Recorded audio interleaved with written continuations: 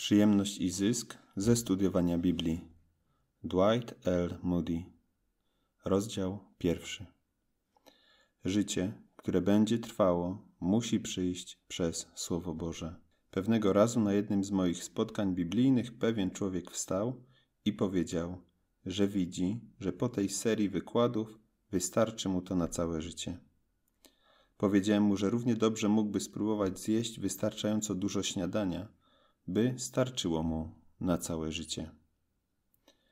Często ludzie popełniają ogromny błąd, biegają ze spotkania religijnego na spotkanie religijne i myślą, że to, co tam wysłuchają, da im jakąś nową energię do życia. Ale jeśli te spotkania nie doprowadzą człowieka do indywidualnego kontaktu ze Słowem Bożym, to po kilku dniach całe wrażenie i wszystkie emocje po spotkaniu znikną.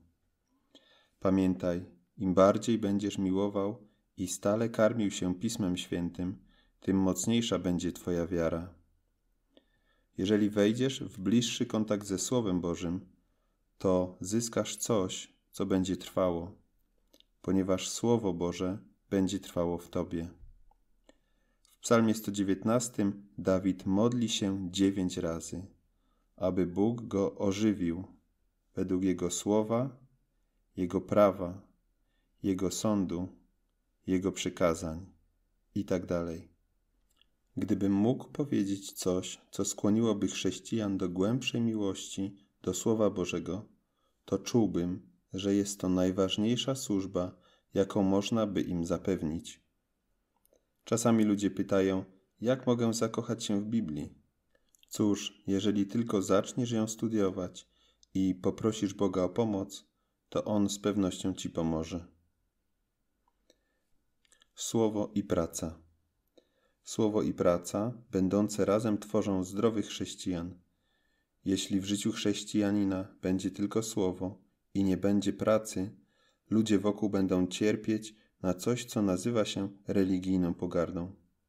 Z drugiej strony, jeżeli będzie tylko praca, a nie będzie Słowa Bożego, to nie potrwa to długo. Wkrótce taki człowiek wpadnie we wszelkiego rodzaju grzechy i błędy. Wtedy taki człowiek zrobi więcej szkody niż pożytku. Jeżeli jednak najpierw będziemy studiować Słowo Boże, a potem pójdziemy do pracy, to będziemy zdrowymi, użytecznymi chrześcijaninami. Nigdy nie widziałem owocnego chrześcijanina, który nie byłby uważnym studentem Biblii. Jeżeli człowiek zaniedbuje swoją Biblię, to może modlić się i prosić Boga, aby wykorzystał go w swojej pracy, lecz Bóg nie może go wykorzystać, ponieważ Duch Święty nie działa w nim. Każdy chrześcijanin musi znać dobrze Słowo Boże i karmić się nim każdego dnia. Mamy wiele spotkań modlitewnych, ale jest coś równie ważnego jak modlitwa, a mianowicie czytanie Biblii, studiowanie Biblii, wykłady biblijne i zajęcia biblijne, tak abyśmy mogli znać i żyć Słowem Bożym. Kiedy się modlę, rozmawiam z Bogiem, ale kiedy czytam Biblię, Bóg mówi do mnie. I naprawdę ważniejsze jest, żeby Bóg do mnie mówił, niż żebym ja mówił do Niego. Uważam, że jeżeli będziemy lepiej znać Biblię, to od razu zaczniemy także się lepiej modlić. Bo do czego się przyda armia, jeśli nie wie, jak używać swojej broni? Do czego przyda się młody człowiek rozpoczynający chrześcijańską pracę, który nie wie, jak używać swojej Biblii? Żołnierz nie jest przydatny w walce, jeśli ma jakiekolwiek wątpliwości co do swojej broni. Osobiście nigdy nie znałem człowieka, który miałby wątpliwości co do Biblii i wykonywał dobrze pracę dla Boga. Niestety, widziałem wiele zrujnowanej pracy ponieważ ludzie stracili zaufanie do ducha tej starej książki. Młodzi i nawróceni. Jeśli młodzi nawróceni chcą być wykorzystywani przez Boga, muszą karmić się Jego słowem. Ich doświadczenie nawrócenia może być bardzo dobre i opowiadanie o nim może pomagać innym ludziom. Jeżeli jednak nie będą robić nic innego, jak tylko opowiadać o swoim doświadczeniu, to wkrótce stanie się ono przestarzałe i nieopłacalne, a ludzie będą zmęczeni słuchaniem tego samego w kółko, lecz gdy tylko po nawróceniu sięgną do studiowania Słowa Bożego, mogą stać się cennymi pracownikami dla Pana. Pamiętajmy o tym, że my sami nie jesteśmy fontannami żywej wody. To Słowo Boże jest prawdziwą fontanną wody żywej. Jeśli będziemy się stale karmić Słowem Bożym, to będzie nam łatwo rozmawiać o tym z innymi. Będziemy cały czas wzrastać w łasce, a inni zaczną zwracać uwagę nie tylko na nasze słowa, ale na zmianę naszego życia. Niestety mało osób dorasta do pełni chrześcijaństwa, gdyż mało osób czyta i studiuje Słowo Boże. Radziłbym wszystkim młodym nawróconym, aby trzymali się jak najczęściej towarzystwa bardziej doświadczonych chrześcijan. Osobiście lubię trzymać się tych, którzy wiedzą więcej niż ja i nigdy nie tracę szansy na wydobycie z nich wszystkiego, co najlepsze. Dokładnie tak samo musi być wśród Was.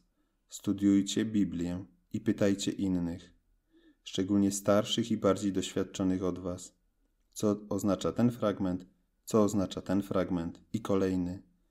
A gdy już poznacie wielkie prawdy, które zawiera Pismo Święte, będziecie mieli mniej obaw przed światem, przed ciałem i diabłem. Nigdy nie będziecie zawiedzeni w swoim chrześcijańskim życiu. A może coś nowego? Niektórzy chrześcijanie mówią: Chcemy czegoś nowego, jakiejś nowej doktryny, jakiejś nowej idei. Taka postawa zwykle towarzyszy ludziom, którym znudziło się Słowo Boże jest ono dla nich uciążliwe. Dzieje się tak zwykle wtedy, gdy ludzie przestają je czytać i studiować. Kiedy ostatni raz byłem w Baltimore, moje okno wyglądało na pewien kościół. Witraże za dnia były tępe i nieprzyjemne, ale kiedy w nocy zabłysnęły światła, okazały się piękne. Kiedy więc Duch Święty dotyka oczu waszego zrozumienia i widzicie, że Chrystus świeci w kartach Biblii, staje się ona dla was nową książką. Pewna młoda dama zajęła się kiedyś czytaniem powieści, ale uznała ją za nudną i nieciekawą. Kilka miesięcy później została przedstawiona autorowi i z biegiem czasu została jego żoną.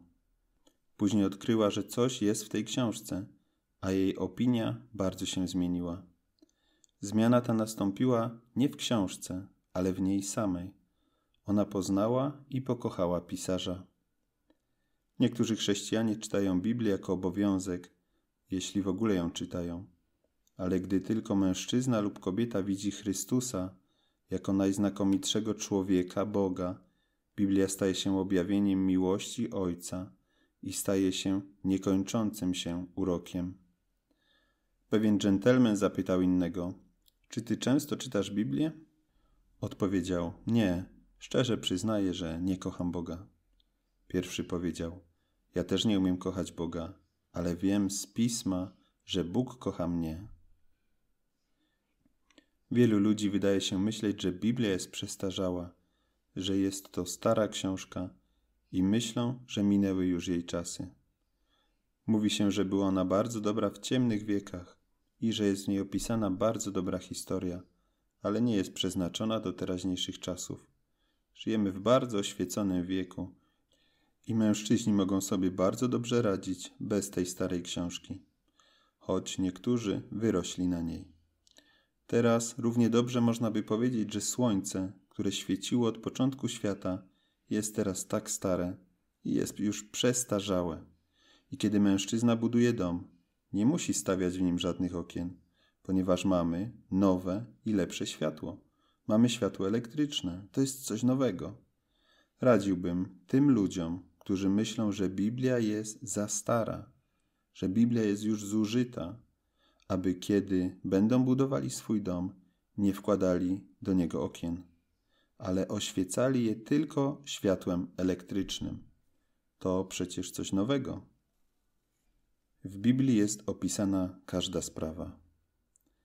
Pamiętaj, że w życiu nie ma takiej sytuacji, dla której nie możesz znaleźć jakiegoś słowa pocieszenia w Piśmie Świętym.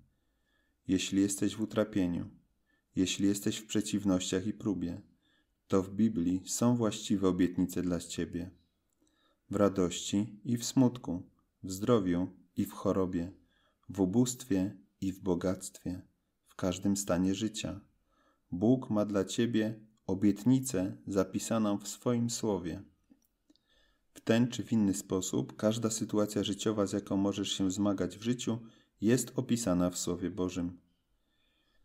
Kiedyś Richard Baxter powiedział: Odczuwałem siłę cudów głównie w młodości. W latach dojrzałych byłem pod większym wrażeniem spełniania proroctw biblijnych, a pod koniec życia odczuwałem najgłębszą satysfakcję w swoim doświadczeniu mocy Ewangelii. On też powiedział kiedyś: Jeśli się niecierpliwisz, usiądź i poczytaj historię Hioba. Jeśli jesteś silny, przeczytaj o Mojżeszu i Piotrze. Jeśli jesteś słabo rozwinięty, zobacz na Eliasza. Jeśli nie ma pieśni w Twoim sercu, posłuchaj Dawida. Jeśli jesteś politykiem, poczytaj Daniela. Jeśli robisz się nikczemny, przeczytaj Izajasza. Jeśli jest ci zimno, przeczytaj o ukochanym uczniu. Jeśli twoja wiara jest słaba, poczytaj Pawła. Jeśli się lenisz, przeczytaj list Jakuba. Jeśli tracisz z oczu przyszłość, przeczytaj w Księdze Objawienia o nowej ziemi i nowym niebie. Wielki pokój. W Psalmie 119 znajdują się słowa: Obfity pokój dla miłujących Twe prawo, nie spotka ich żadne potknięcie. Studium Słowa Bożego zapewnia pokój. Popatrz teraz na tych chrześcijan, którzy są zakorzenieni i ugruntowani w Słowie Bożym, a przekonasz się, że mają wielki pokój. Popatrz i pomyśl teraz o ludziach, którzy nie czytają i nie studiują swojej Biblii. Są zwykle gwałtowni. Łatwo można ich obrazić, a gdy przychodzi mały ucisk lub jakieś małe prześladowanie, ich pokój znika. Czasami jestem zdumiony, jak zachowują się ludzie ze świata. Są niby spokojni, ale ten pozorny pokój bardzo łatwo rozsadzić, czasem jednym złym słowem czy zdaniem. Ale my, jeżeli mamy pokój Boży, to świat nie może go nam odebrać. Świat nie może dać prawdziwego pokoju i nie może nam go zniszczyć. Musimy go dostać z góry. To jest pokój, który może dać tylko Bóg. Wielki pokój mają ci, którzy kochają Twoje prawo i nic ich nie urazi. Dodatkowo Pan nasz Jezus Chrystus mówił tak w Ewangelii według świętego Jana: Pokój zostawiam Wam, mój pokój daję Wam, nie taki jak daje świat. Niech się nie tworzy Wasze serce, ani się nie lęka. Teraz zauważcie, że tam, gdzie jest chrześcijanin czytający i studiujący Biblię, chrześcijanin, który codziennie karmi się Słowem Bożym, tam jest pokój. A osobę taką nie jest łatwo pozbawić tego pokoju. Nie jest go łatwo wyprowadzić z równowagi. Ale są także ludzie, którzy nazywają siebie chrześcijanami, ale nigdy nie otwierają swoich Biblii, którzy nigdy nie studiują Pisma Świętego. Oni czasem zastanawiają się, dlaczego mamy trudny czas w życiu. Odpowiedź jest prosta: zaniedbujecie Słowo Boże. Gdyby studiowali Słowo Boże, nie byliby w tym stanie, nie błądziliby przez te lata z dala od Boga, żyjąc na śmietniku świata. Oni zaniedbują troskę o nowe życie, nie karmią go. Ich biedna dusza jest głodna, pogrąża się w słabości i rozpadzie. Jeśli człowiek rodzi się z Boga, nie może rozwijać się bez Boga. Dbamy dobrze o to ciało, które zamieszkujemy przez pewien czas. Karmimy je kilka razy dziennie, ubieramy, pielęgnujemy, a potem gnije w grobie. Ale człowiek wewnętrzny, który ma żyć dalej i to na zawsze, jest często chudy i głodny. Pan nasz powiedział: Nie samym chlebem będzie żył człowiek, ale każdym słowem pochodzącym z ust Boga droga do domu Ojca. Jeśli człowiek podróżuje i nie wie dokąd zmierza, ani jak tam może się dostać, to wiemy, że ma spore kłopoty. Podróżowanie nie jest bezpieczne, a on nie wie, jak iść przez życie. Od wieków Biblia jest przewodnikiem w podróży życia. Jest jedną księgą, która wskazuje właściwą drogę do domu Ojca. Psalmista mówił: Twoje słowo jest lampą dla moich stóp i światłem na mojej ścieżce. Uważajmy więc, by nie odrzucić światła i pomocy, jaką daje nam Słowo Boże.